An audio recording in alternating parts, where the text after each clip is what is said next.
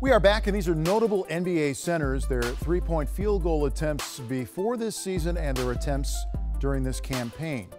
Uh, guys, you big men are free to be three. Right? you are free to be. And that's Free- where we're going.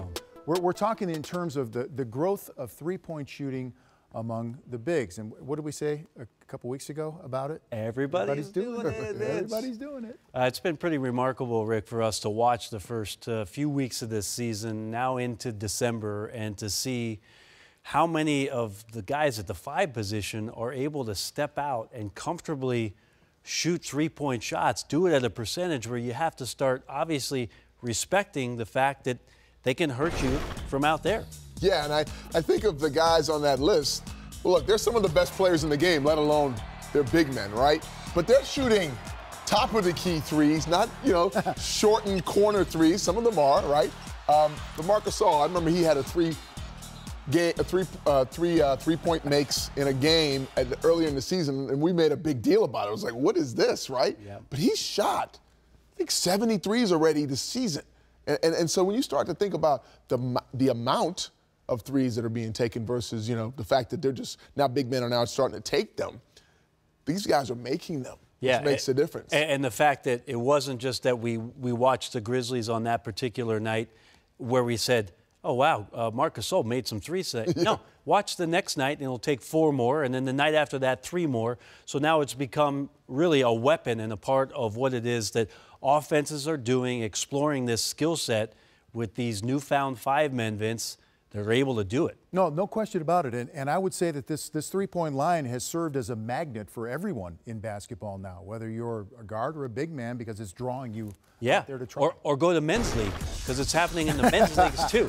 But w- the fascinating thing about it, Vince, and we're gonna we'll, we'll talk about it, Rick and I, about what this does for your basketball team and the way that your team has to think because you have the five man out there is how much more room uh, it, it opens up for your guards and the guys who off the ball can either cut without the ball and be quick or guys with the ball who are able to split pick and rolls or find seams and still be able to score. So I'm going to walk Rick Fox out here and talk to you about you know what it what it does for your five men out here setting the pick and roll. So Rick will have the ball out there. I'll grab one.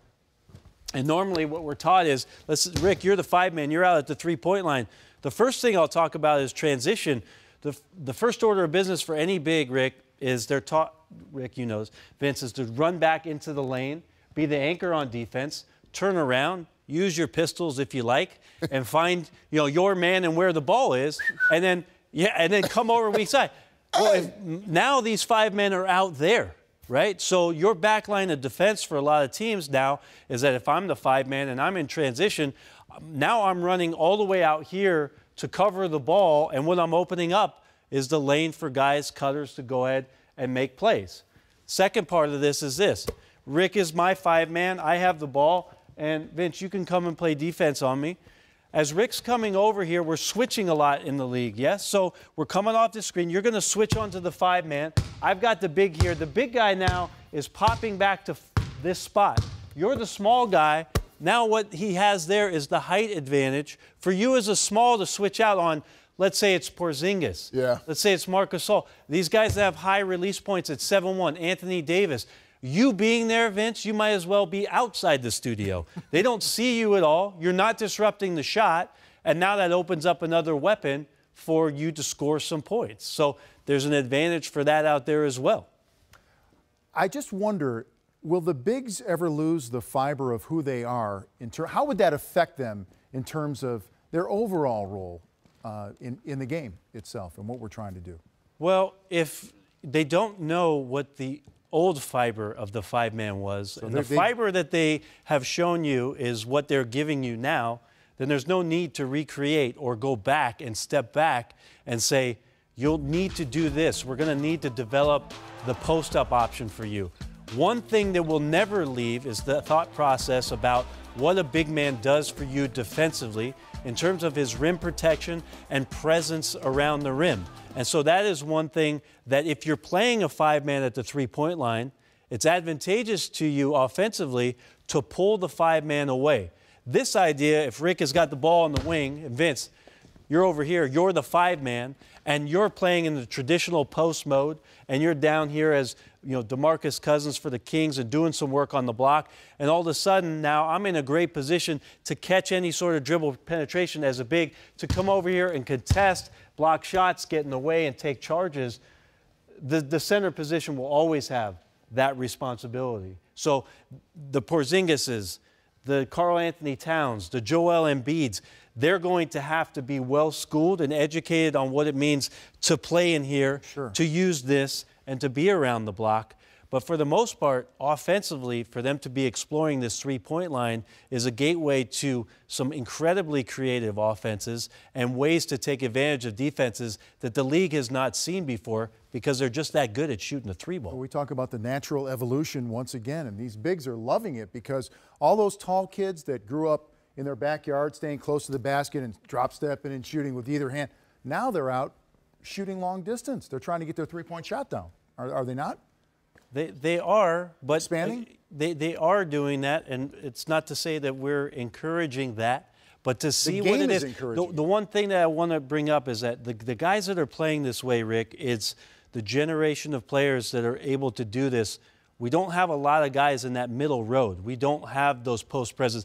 And it's silly for us to think, Steve Kerr made a great comment. It's silly for us to think that for the league's history, that every team has had a dominant post player for, for all time and that we've all of a sudden lost that. No, we've had five or six, or if you want to stretch it out, maybe eight all time in the league where everybody was scared of that big man's presence.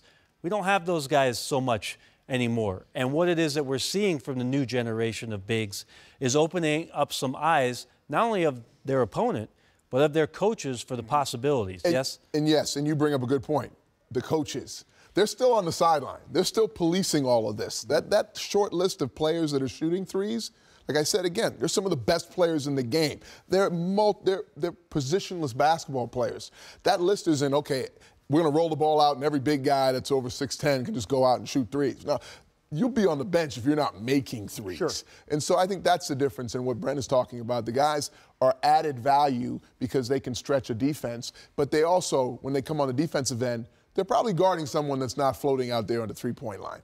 And that, that's the rarity of it. So, so this player that we're trying to find right now, you mentioned Porzingis. Mm-hmm. It's Porzingis. It's Anthony Davis. Karl Anthony Towns. Karl Anthony sure. Towns. Yep. Those guys. We're looking for. That's the new. That's the future. Well, That's, you where- see, that's you- the present and the future. Well, man, I mean, they're putting the ball on the floor. Yeah. They're rebounding and starting Which is fast great. breaks. And if you think of Marc Gasol, Marc Gasol was always a pop, you know, pick and pop type of center that shot the ball exceptionally well. But from high school, Dean, I mean, college, Dean Smith used to tell us, don't take long twos. So now they've just gotten Marc Gasol to take one three-step foot back, and now he's taking the three instead of the long two. And then you know what, Vince? The last point I'm going to make is I, I like the fact that the big man, because of the skill set of those young guys, is finding relevancy in today's game. It's just a new defined relevancy at that position. And you know what they say? Everybody, everybody's doing Everybody's it. doing it. Everybody's doing it. Peer pressure.